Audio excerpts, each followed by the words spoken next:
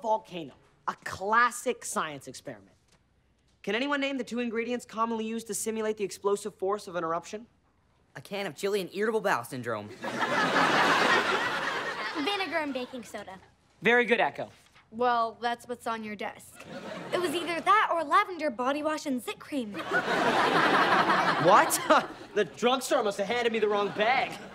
I ordered uh, shaving cream and chest hair conditioner. Now, to create a more realistic volcano, we'll add a pinch of sulfur to give it a brimstone smell, and tomato sauce to simulate the color and texture of molten lava. Then, we add the baking soda and the vinegar. And Um, I don't think it's working. Oh, it's working all right. What I've created here is a realistic volcano. It could explode at any second. Or lay dormant for a hundred years. Okay, see y'all tomorrow when we'll witness this ticking time bomb detonate. Or just continue to sit there. Mr. Young, I just have a question about the homework assignment. I can't Time to give nature a little you kickstart. unless I know I'm making And ooh, I'll add lavender body wash and zit cream. Derby, what have you done?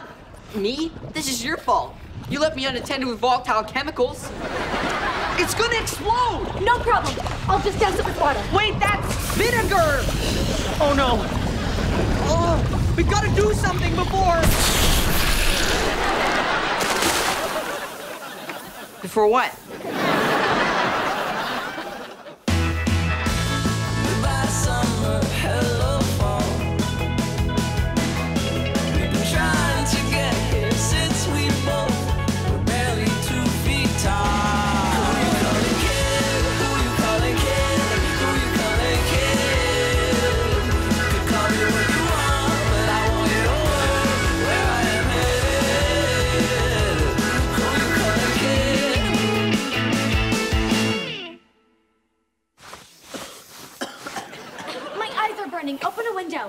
First, we need to find the window. Okay, I got an idea. We open a window to clear the smoke. Then once we can see, we find a window and open it. Derby, that doesn't make any sense. I can't think in these conditions. I need to clear my head. Someone open a window. Hello? It's Principal Tater. Ask him where the window is. I heard a loud boom coming from the direction of your lab. What's going on? He wants to know what's going on. What should I tell him? Lie through your teeth. I'm with Derby on this one. Okay, I'll just make something up. Mr. Tater, Derby sabotaged my volcano and it erupted all over me, creating a noxious cloud of smoke. What? What are you doing? Give me the phone. Don't listen to Mr. Young. What really happened is, I sabotaged his volcano. It erupted all over him, creating a noxious cloud of smoke. You two are the worst liars I have ever met. I tried to lie, but the truth just came out. this tomato sauce I took from the cafeteria expired in 1982. Who cares? We're not making spaghetti puttanesca. Ooh, can we make spaghetti puttanesca? When tomatoes go bad, they release nitrogen. That combined with the other elements in the lava must have created C11H17N2NaO2S. Could you put it in terms I can understand? Sodium thiopental, truth gas. Now, could you put it in terms I can understand? Volcano go boom, smoke make us tell truth. Hello? Hello? Are, are you still there? Okay, you definitely shouldn't tell Tater that. Agreed. Mr. Tater, Echo, Derby, and I have all been exposed to sodium thiopental gas. Could you put it in terms I can understand? Volcano go boom, smoke make us tell truth.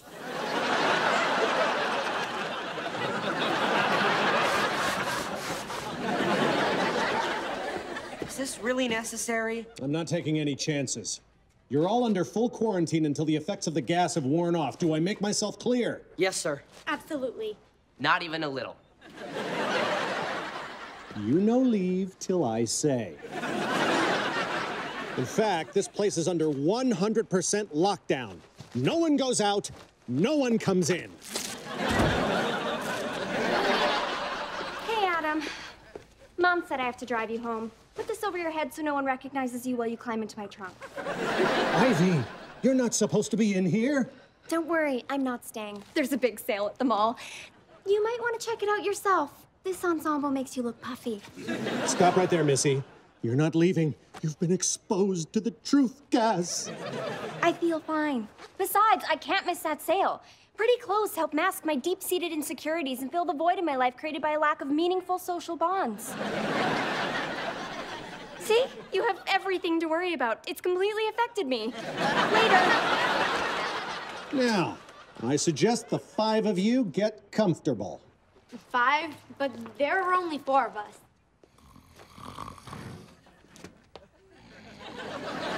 Slab? Who falls asleep in science class? During tests. Well, I can see this is going to be fun. I wish I could stay and share the experience with you. And just so we're clear, I'm lying.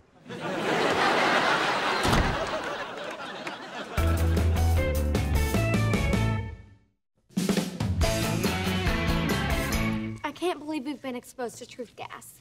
I hope we're not quarantined here all night. Me too. I can't sleep a wink without Mr. Cuddlesworth. Oh, and you still sleep with a stuffed animal? Of course not. That would be ridiculous. Mr. Cuddlesworth is my blankie. He's blue and fuzzy and makes me feel safe. What I mean is, my closet has monsters.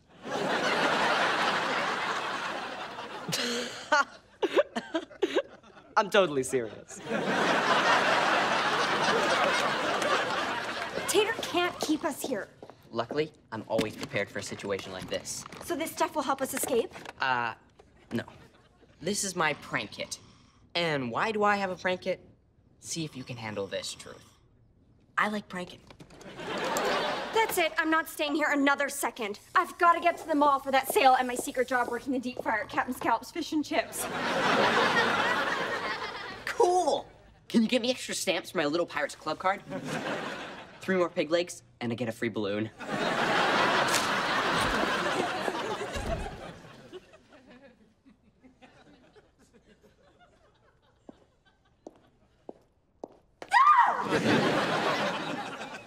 Where are you hopping to, running rabbit? Mr. Tater has told me to make sure you stay in Science Rab. Oh, look. This not Science Rab. That's right. I'm leaving. How did you do that? Dang is everywhere and nowhere, but mostly everywhere. Well, you've been exposed. That means you can't leave the school. Why would I ever leave this paradise? I finally found place where I can wear fancy hat without fear of it being stolen by Reef Monkey.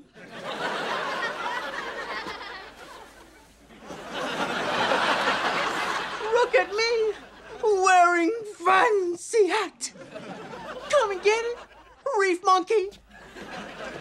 Ah, but you can't because you don't live in this paradise, Reef Monkey. Fine, Echo. I'll escort you to the bathroom. Derby, I need your advice. Shh, keep it down. I don't want Slab waking up before I complete my masterpiece. Forget the stupid prank. I've got real problems here. Stupid prank? Do I come to your place of work and put down what you do? Constantly. But I expect more from you. Your problems don't interest me, and I'm not sorry. There. Now, can we please get back to me?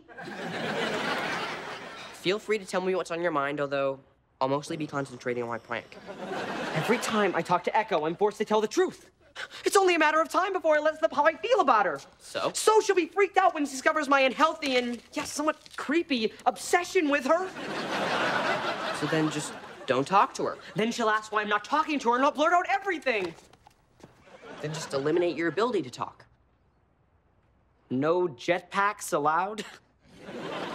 what exactly is this prank? Isn't it obvious? I'm gonna make Slab think he's been asleep for a hundred years. And is awakened in a bleak dystopian future. Check out the cafeteria special. $600 for macaroni and beef? I told you it was bleak.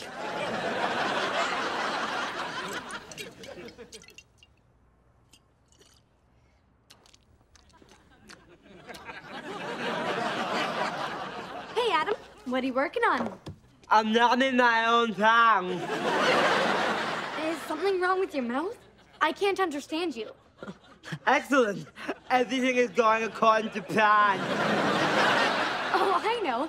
Maybe you can tell me what happened using charades. First word, I. Second word, sounds like. Bum, crumb, dumb, numb, That's fine. Uh-oh. numb. Did you numb your own tongue? Why would you do that? First word.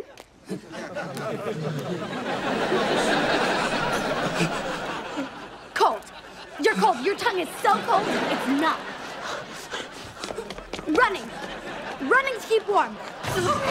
Falling. Falling down. Nosebleed. Big nosebleed. Pool of red. The hunt for Red October.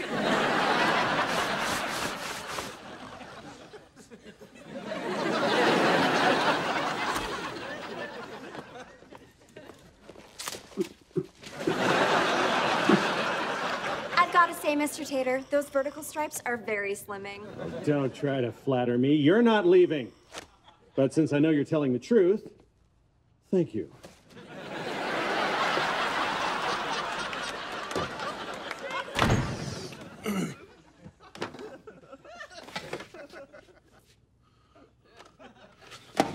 I'm old.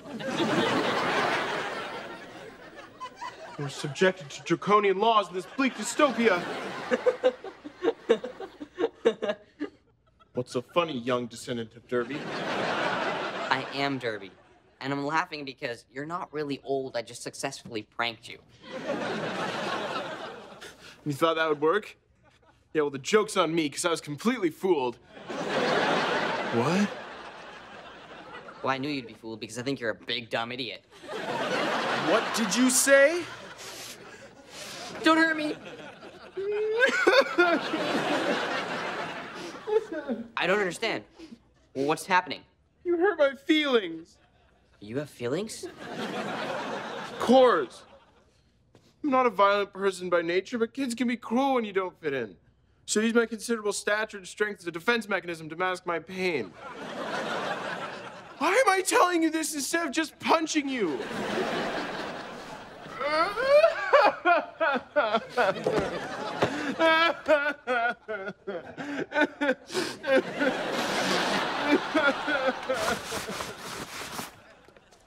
Hey there, gorgeous.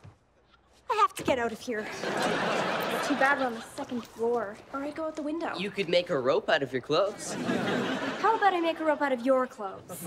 You want to start upstairs or downstairs? Actually, I don't think your doll clothes will get me much further than the ledge.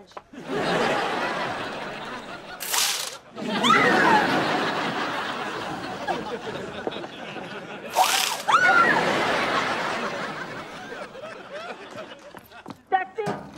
Walk away. No one can fool things. Oh, yeah? My fancy hat.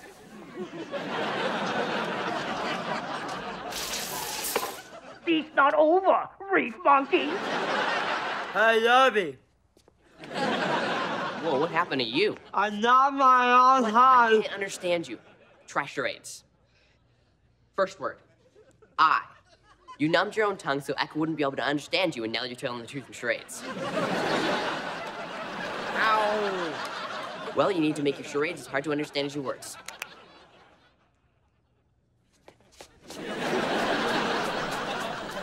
Thank you. I am as wise as this hat is fancy.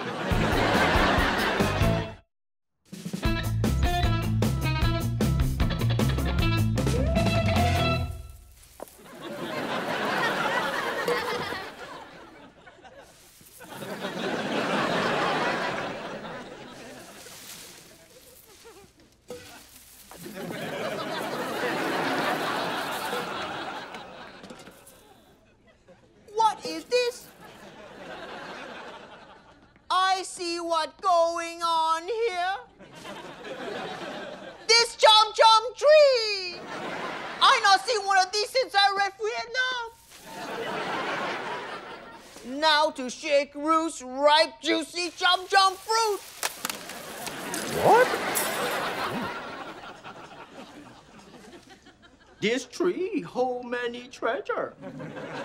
But the treasure I covet most is the tiny sweet fresh of chum chum. Ivy? Please, Dang, I have to get out of here. I understand your desire. I too have desire for chum chum fruit, but you ate entire harvest. In my village, for an act so evil, you will be exiled and forced to live with Reef Monkey with nothing but unfancy hat. Which might sound good at first, but without fancy hat as diversion, Reef Monkey go for face.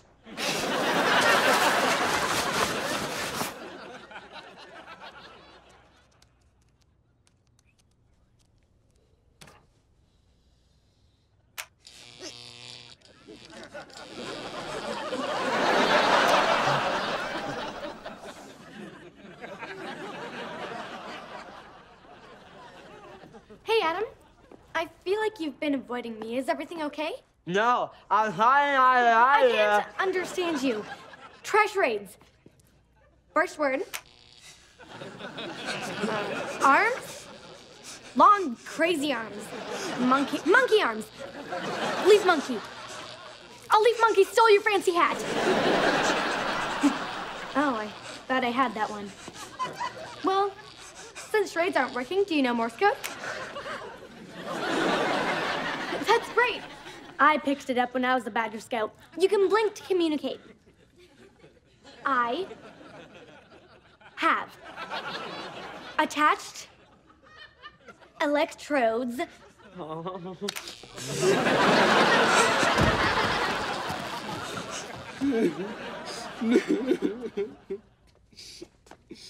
Hey, big guy. What do you want? Earlier, when I called you a big dumb idiot, I wasn't angry when I said it, and I really did mean it. I hate this truth gas.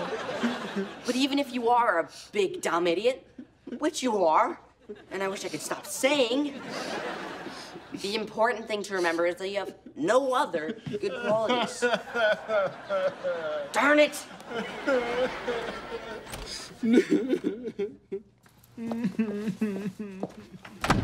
So I'm sitting in my office trying to enjoy my chom chom smoothie. when I hear Dang going on about the leaf monkeys again. I come out to tell him to pipe down, and who do I find? But Mr. Tater, I'm not fine. I'm still completely under the effects of the truth gas. Darn it. If I see you out in that hallway one more time, young lady, there will be serious consequences.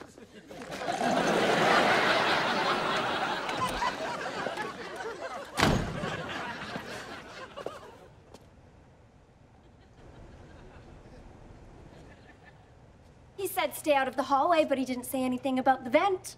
Although this truth gas prevents me from lying and in no way alters my moral compass, which is pointed squarely at the mall.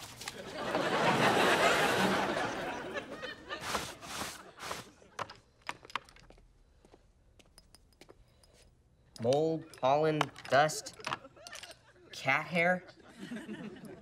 You're allergic to all this stuff. Careful. A single pinch of that will make your eyes swell shut. Oh, Adam. I can't just stand here and watch you do this to yourself. I'm gonna go grab a chair. Derby, I've had a lot of time to think. And I've realized two things about myself.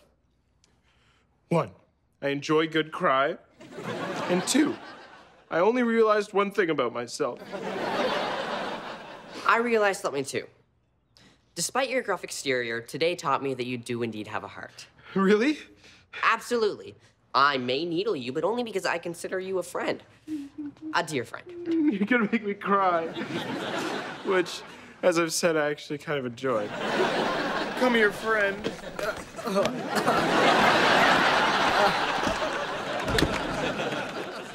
Derby, that was amazing.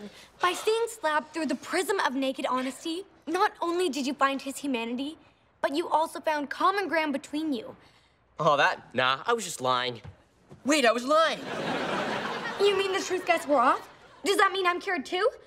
Quick, ask me a question you know the answer to to see if I can lie. Do you find me even the slightest bit attractive? Yes. I'm cured! Woo!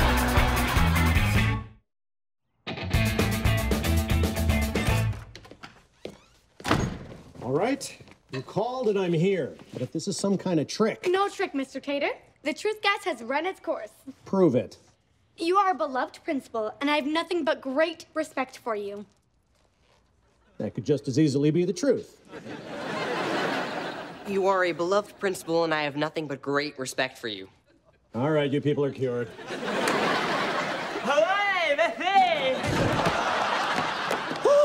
The gas is manifesting new side effects. No, he's fine. He just did all this to avoid talking to Echo. Tell him, Adam. Derby, that's not true. Well, it's nice to know you don't enjoy my company. Don't worry, I'll make sure you never have to speak to me again. Uh-huh. That's it. The quarantine holds until these symptoms pass. Or the building is vaporized by the army to prevent an outbreak that could result in the extinction of all mankind. Worst case scenario. I don't want to hear it. The five of you are. Wait a second. Where's Ivy?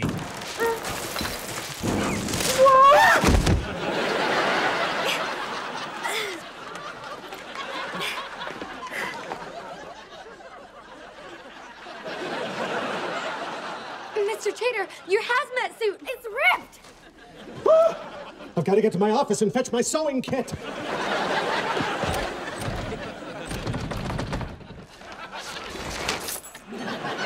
Not so fast!